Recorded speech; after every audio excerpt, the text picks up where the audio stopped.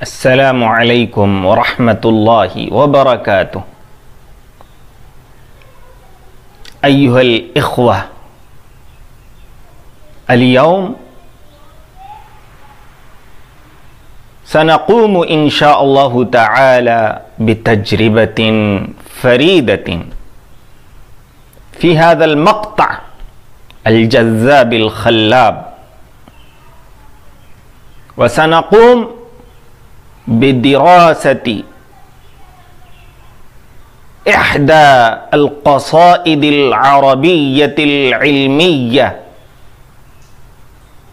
النفيسة اللطيفة الغالية القيمة. هذه القصيدة تسمى عنوان الحكم وهي كاسمها مشتملة على الحكم الغالية والمواعظ الثمينة وينبغي للطالب المجتهد المؤمن أن يدرس هذه القصيدة وقد اعتنى بها الإمام المحدث عبد الفتاح أبو غدة فقام بطبعها في رسالة مستقلة. ناظمها الإمام البستي من علماء القرن الرابع. وهو أديب شاعر ناثر فقيه محدث.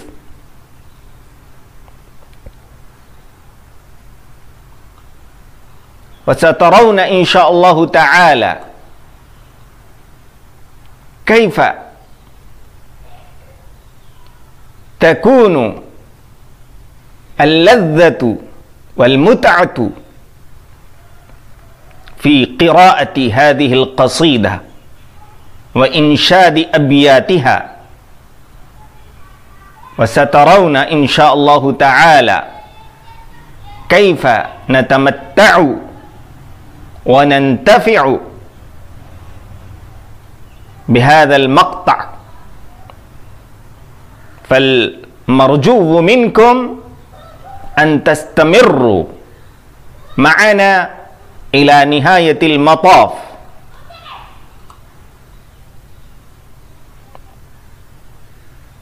هذا الإمام قد ترجم له الإمام الثعالبي في كتابه يتيمة الدهر في محاسن أهل العصر فأطنب في مدحه والثناء عليه.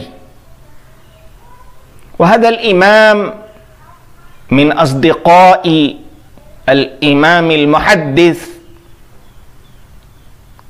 الإمام الخطابي رحمه الله. ومن تلاميذ ابن حبان البستي رحمه الله. وهو من مشايخ الحاكم النيسابوري رحمه الله.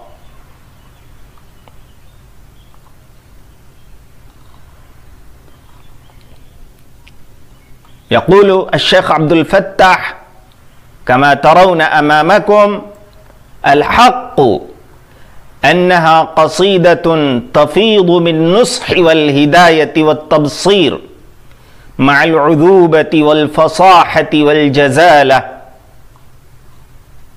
ولا نطيل عليكم بل نأتي توا إلى صلب القصيدة حتى نتمتع إن شاء الله تعالى.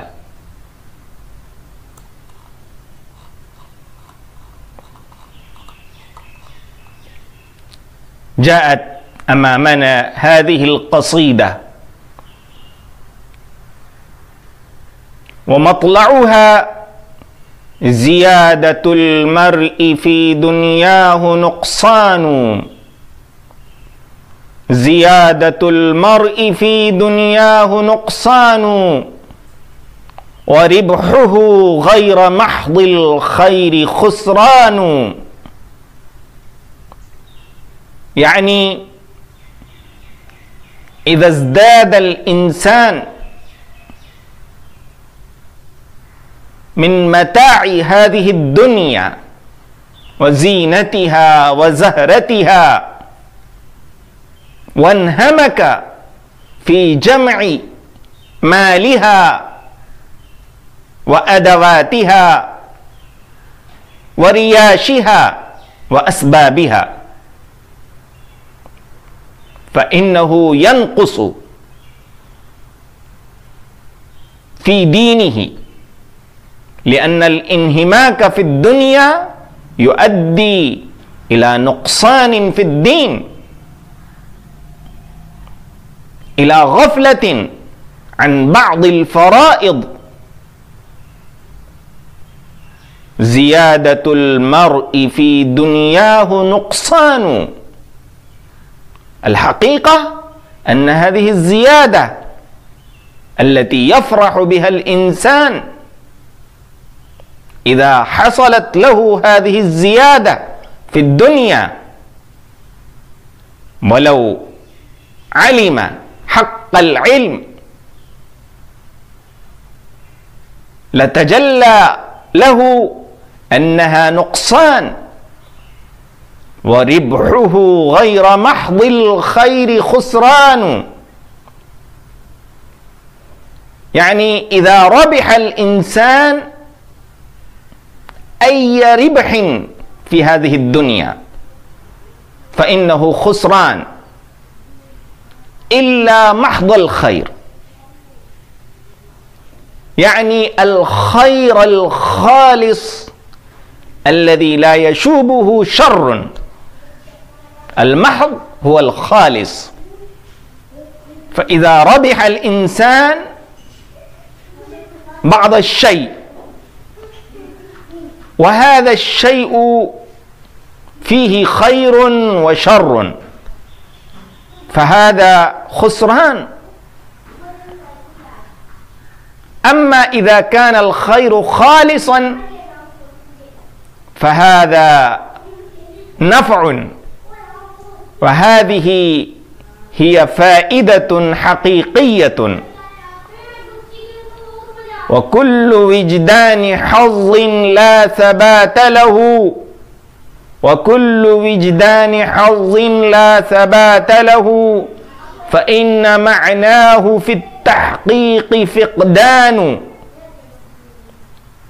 يعني إذا وجد الإنسان حظا فانيا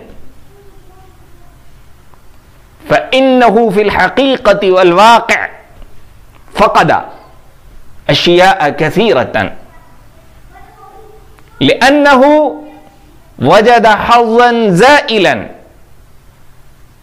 بإنفاق ساعات من عمره العزيز وصحته القيمة. وهذا الحظ سيفنى فهو في الحقيقة فقد من نفسه وعمره وصحته. يا عامرا لخراب الدار مجتهدا. بالله هل لخراب العمر عمران؟ يا من يعمر هذه الدنيا الخربة. هذه الدار التي ستؤول إلى حطام.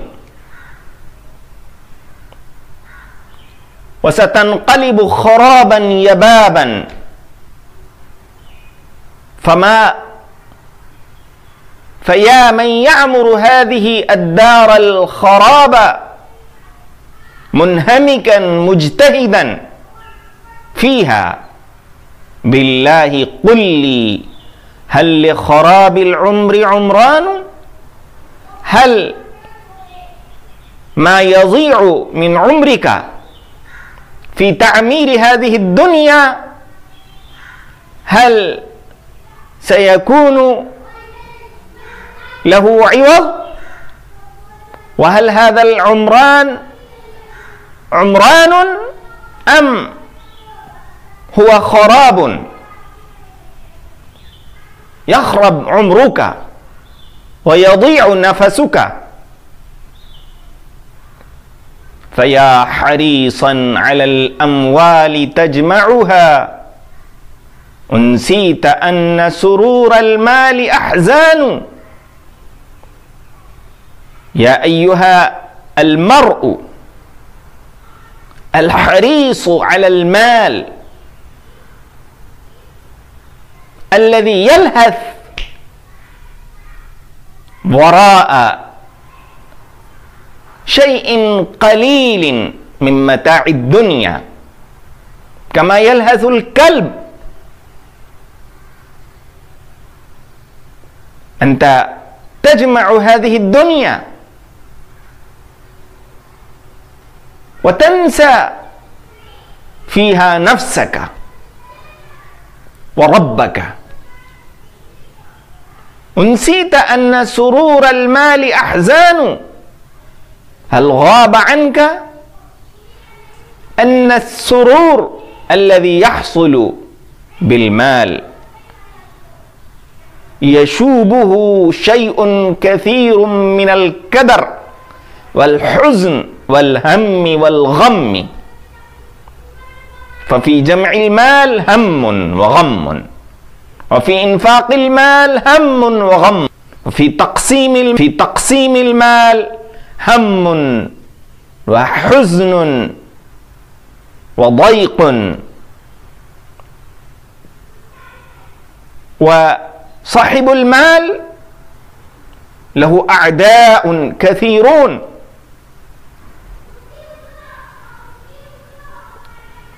وصاحب المال سيواجه مشاكل كثيرة في حياته. زعي الفؤاد عن الدنيا وزينتها. زعي الفؤاد عن الدنيا وزينتها. فصفوها كدر والوصل هجران. زع هذا من وزع يزع. وقد قرئ دع أي اترك قلبك ونح قلبك عن الدنيا. أبعد نفسك عن الدنيا وزينتها واشتغل بالآخرة. فصفو هذه الدنيا إن صفى شيء من هذه الدنيا على سبيل الفرض صفوها كدر أو كدر. لأنه لا صفاء لهذه الدنيا. والوصل هجران.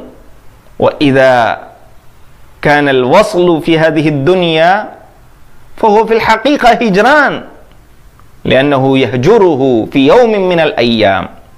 الصديق الذي لقيته وصادقته والحبيب الذي أحببته سيهجرك في يوم من الأيام.